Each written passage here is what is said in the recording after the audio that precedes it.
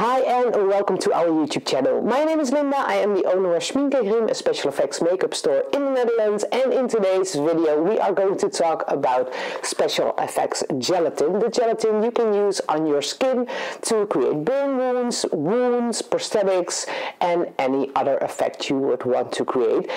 In today's video we are going to work with the gelatin by Titanic Effects and that is obviously because it is my favorite brand of gelatin. This gelatin is a little firmer than other gelatins I have worked with and it always gives amazing results. But you can also work with a gelatin by Ben Nye, it's called the FX Gel, or the gelatin by Mehron, which is called 3D Gel. If you are really adventurous, you can also make your own gelatin, but be sure to know that you cannot make your own gelatin with the gelatin you can buy at the grocery store. The uh, gelatin is too weak, you need a strong gelatin, a 300 bloom or uh, stronger than that even and that looks like this is kind of small grains of a gelatin. We have this at our store and you can easily make your own gelatin with something like this but it takes a while to get the perfect gelatin and that is why usually I just take the Titanic Effects gelatin. If you're going to work with gelatin there are a few more items you will need. First up you will need a stainless steel spatula. This one is by SchminkenGrime it's our own brand, but you can also get it by Mehron. Uh, you will need a setting powder to set the makeup once it is done and get rid of all the shininess that is in the gelatin. This is the neutral set powder by Ben Nye. It is my favorite brand of a setting powder. You can also use a gelatin blender. It is to melt away any edges or bits of your gelatin that you don't really like. And obviously you also need some color. So as always, I am going to work with alcohol activated makeups because they are my favorite to work with. But you can also use a grease paint or a water-based makeup over your gelatin.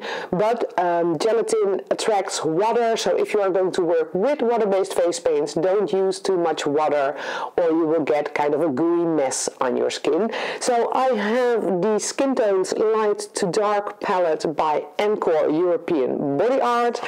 I have the SFX palette, also Encore European Body Art, and I have the Autopsy palette also by Encore European Body Art. I'm not really going to use blood this week because I want to make a burn wound and I don't really want to use any blood on that but if you're going to make really big wounds you can just apply blood over your gelatin.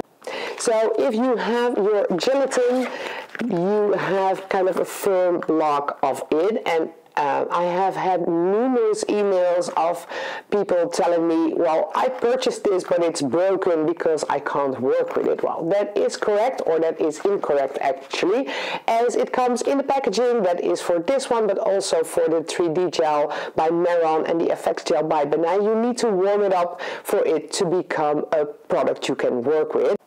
So I put a little bit of the gelatin in a baby bottle warmer. I don't know if that is the correct term in English, but in Dutch it translates to baby bottle warmer. And I put a little bit of the gelatin in a glass and just heated it up with the water in that warming device. You can also put it in the microwave, but the thing you do not ever want to do with gelatin is let it boil, because if it boils, the texture of the gelatin breaks and it doesn't become a solid mass again, and you will be stuck with all of that goo on your skin that doesn't really set anymore. So this has been warmed to a pretty high temperature. I think this is about 60 degrees at this point. So before you are going to apply the gelatin to your skin, you first want to check that it isn't too warm because if it is too warm, you will get actual burn wounds and that is not what we want to do in special effects makeup. So usually I just take the gelatin and my spatula, put a little bit of the gelatin on there and test it on the inside of my wrist. The skin on there is very thin and very sensitive so if you can handle the gelatin on that area you are good to go on your skin So gelatin is used to create the famous melted skin effects switch. You have probably seen loads of those on Instagram, YouTube and other social medias. You can use gelatin to create your own prosthetics with uh, instead of, for instance, silicone. It is a little bit cheaper than silicone, so it is a nice way to start making your own prosthetics. But you can also make and burn wounds with it on your skin. And that is what I'm to do today. And in tradition of this Halloween series, I'm just to use my cheek to demonstrate the effect on. So working with gelatin is pretty easy, uh, but it does take a little bit of time. So as long as it is warm, you can move it around on the skin and if it cools down, you will be stuck with what you created. It's kind of like with the sculpt gel, you have a limited time and once the time is done, you better be happy with what you did because it is what you will have. Um, gelatin is a perfect product to work with in cool environments but if you are going to go to a very crowded Halloween party or have uh, warmth or heat you have to think of maybe gelatin isn't a product for you because as it melts on higher temperatures, it also melts if your skin gets too warm or if the environment is very warm or when there is loads of moisture in the air or it rains. Gelatin probably isn't the best product to choose, but you can create amazing effects with it. So I have it on my spatula and I'm just going to apply it on my cheek like I did with the other products in this Halloween series. So you do not need that much uh, gelatin to create a nice looking effect with. You just want to have enough of it so you can create an effect. So what I'm doing now is just dabbing the gelatin over my skin. And when I start doing this not that much will happen because the gelatin is very soft. It will just get back to a flat layer on my skin. But as it cools down you will be able to make nice looking effects with it. So I'm just dragging it everywhere trying to create a nice burn wound just so any little imperfections on the edges you have you can just easily get rid of them with that blender.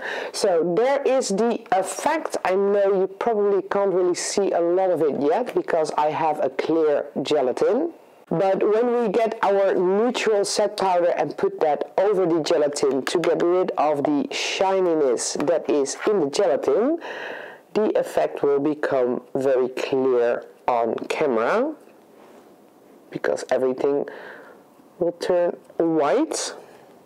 And if at this point you are not happy with any of the effects you see on your skin, you can just go back in there with the gelatin blender. The powder doesn't affect the properties of that gelatin blender at all but with powdering your gelatin you can really see your edges and if you did the job you wanted to do so I am pretty happy for now with the shape of our gelatin wound and that is why I'm continuing to the alcohol and the alcohol activated makeup to get some color in there. So I'm starting out with a brown color which is in the autopsy palette and I'm just going to get some shadow in the deepest parts of the gelatin onto a rosy red color to get that gelatin a little bit more into my skin tone. There it is better blended on my skin. And now I do want to add a little bit of red obviously because this is a wound. And it would kind of have some irritations. Don't just keep on the gelatin. Make sure you also get a little bit of that irritation on your skin. Don't forget to put a few highlights on your makeup. And there it is, a very quick and fast burn scar on my cheek. So if I would apply this in a makeup, I would probably do loads more of the skin than only this little bit on my cheek. But this is the basic idea of working with the gelatin. And when your party is done and you want to remove the makeup again, it is very easy with gelatin. So I have a baby wipe and I'm just going to grab that gelatin and remove it from the skin. So I will just let go of the baby wipe for a minute to show you that it all almost comes from the skin in one go. So this doesn't hurt, it sticks to the skin but it isn't really stuck to the skin so it's pretty easy to remove and as it is affected by water it's pretty easy to get rid of all of it so I'm going to get rid of as much as I can just with this little baby wipe. And it is sticky so it sticks to my fingers instead of my face but you can just get it all on that baby wipe and that is it for me giving you a few tips on working with FX gelatin directly on your skin. If you had fun watching this video don't forget to give it a thumbs up and subscribe to our YouTube channel in the link below to stay tuned on all our videos. For now I wish you a wonderful day and of course I hope to see you back here next time